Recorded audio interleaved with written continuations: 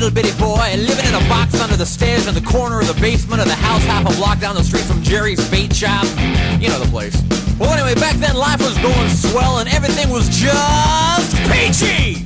Except, of course, for the undeniable fact that every single morning, my mother would make me a big old bowl of sauerkraut for breakfast. Ah! Big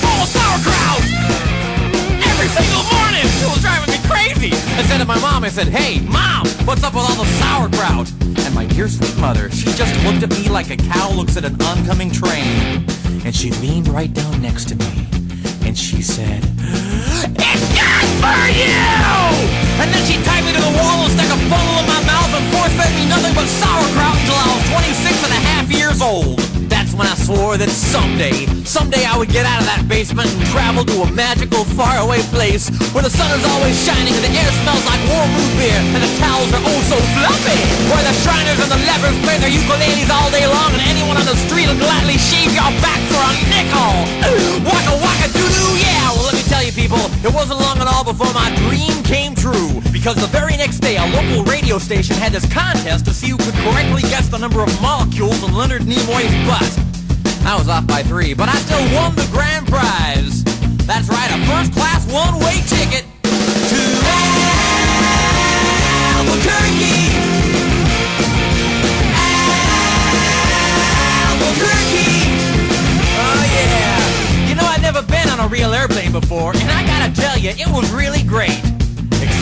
Sit between two large Albanian women with excruciatingly severe body odor, and the little kid in back of me kept throwing up the whole time.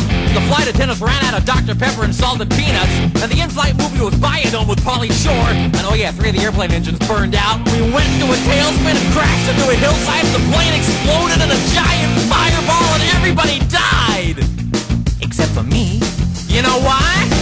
Cause I have my tray table up. And my seat back in the full upright position. Have my tray table up. And my seat back in the full upright position. Have my tray table up. And my seat back in the full upright position.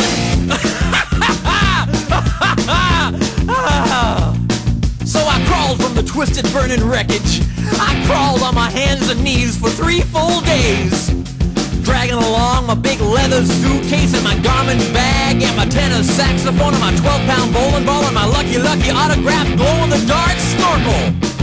But finally I arrived at the world-famous Albuquerque Holiday Inn where the towels are oh so fluffy and you can eat your soup right out of the ashtrays if you wanna.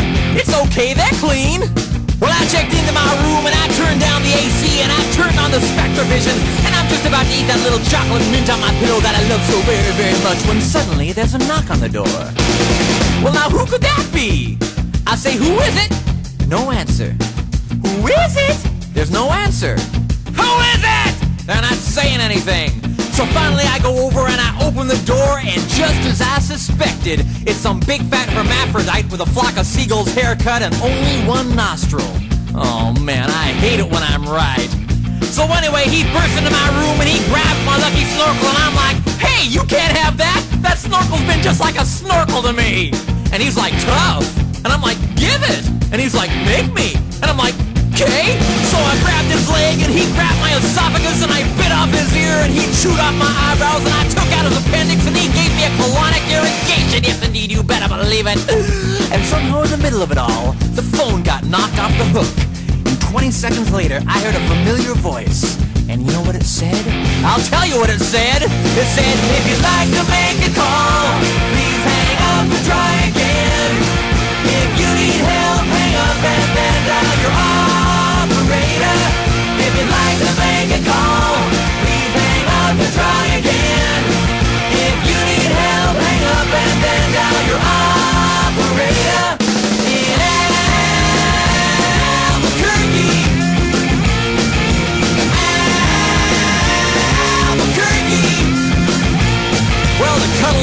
short, he got away with my snorkel. But I made a solemn vow right then and there that I would not rest. I would not sleep for an instant until the one-nostriled man was brought to justice.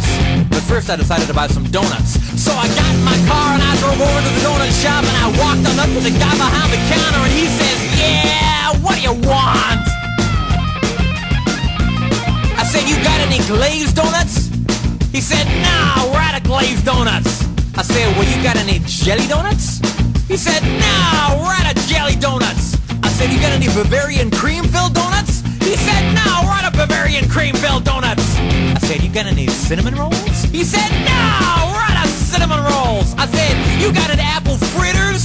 He said, no, we're out of apple fritters. I said, you got any bear claws? He said, wait a minute, I'll go check.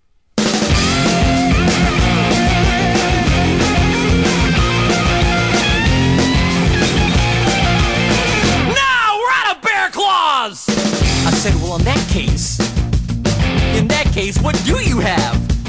He says, all I got right now is this box of one dozen starving crazed weasels.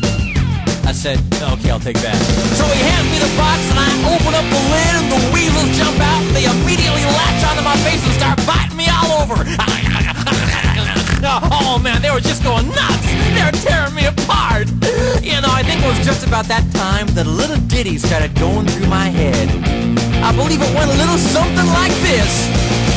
Oh, get off me! Get off me! Oh, oh, get off! Get off! Oh, oh, get, oh, get, oh, get off me! Oh, oh, God. Oh, I ran out into the street with these flesh-eating weasels all over my face, waving my arms all around and just running, running, running like a constipated wiener dog.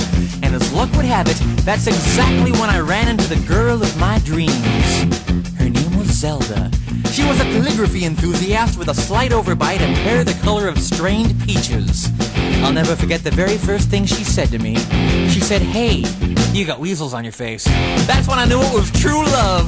We were inseparable after that. Oh, we ate together, we bathed together, we even shared the same piece of mint-flavored dental floss. The world was our burrito.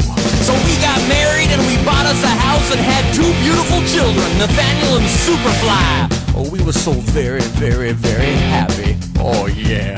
But then one fateful night, Zelda said to me, she said, Sweetie Pumpkin, do you want to join the Columbia Record Club? I said, whoa! Hold on now, baby! I'm just not ready for that kind of a commitment! So we broke up and I never saw her again, but that's just the way things go!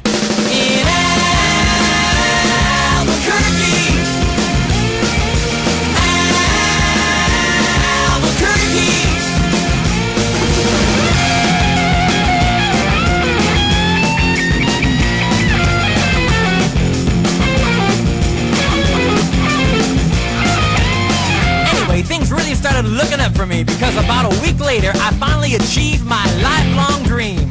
That's right, I got me a part-time job at the Sizzler. I even made Employee of the Month after I put out that grease fire with my face. Oh yeah, everybody was pretty jealous of me after that. I was getting a lot of attitude. Okay, like one time I was out in the parking lot trying to remove my excess earwax with a golf pencil when I see this guy Marty trying to carry a big old sofa up the stairs all by himself. So I, say to him, I say, hey, you want me to help you with that? And Marty, he just rolls his eyes and goes, no, I want you to cut off my arms and legs with a chainsaw. So I did. And then he gets all indignant on me. He's like, hey man, I was just being sarcastic. Well, that's just great. How was I supposed to know that? I'm not a mind reader for crying out loud. Besides, now he's got a really cute nickname, Torso Boy. So what's he complaining about? Say, that reminds me of another amusing anecdote. This guy comes up to me on the street and he tells me he hasn't had a bite in three days. Well, I knew what he meant, but just to be funny, I took a big bite out of his jugular vein. And he's yelling and screaming and bleeding all over, and I'm like, hey, come on, don't you get it? But he just keeps rolling around on the sidewalk, bleeding and screaming, ah! Ah! Ah! You know, completely missing the irony of the whole situation. Man, some people just can't take a joke, you know? Anyway, um, where was I? Kind of lost my train of thought.